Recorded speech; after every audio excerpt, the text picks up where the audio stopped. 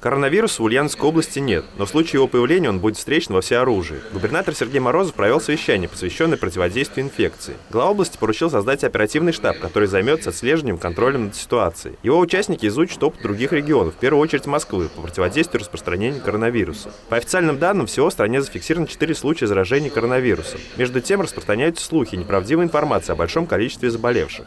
Цель таких опросов понятна посеять э, панику э, среди населения. И противопоставить этому можно только одно.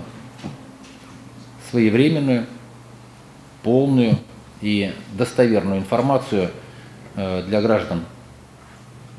У нас ничего критического не происходит.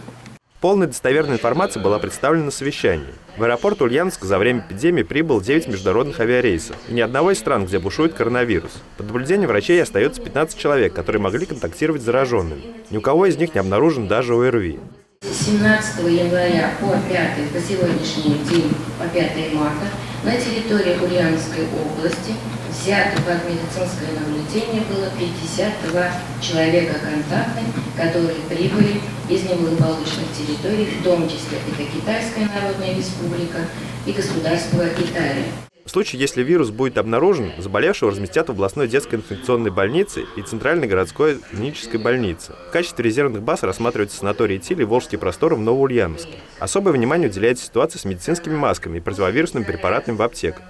Обеспеченность средствами индивидуальной защиты на 3 марта в медицинских организациях – составляет 418 тысяч медицинские маски и соответствует одномесячной потребности при оказании помощи пациентам с острыми респираторно-вирусными инфекциями. В лечебных учреждениях запас масок э, достаточный. Э, в сети аптек Ульяновск фармация. Это, собственно, единственная сеть, которая имеет сейчас такой запас. По последним данным, 55 тысяч масок. Губернатор также обратился к работодателям, чтобы они заботились о здоровье работников, измерять сотрудникам температуру, обеспечивать масками и противовирусными препаратами, а также призвал отказаться от проведения массовых мероприятий. Егор Титов, Юрий Ломатов, Новости Улправда ТВ.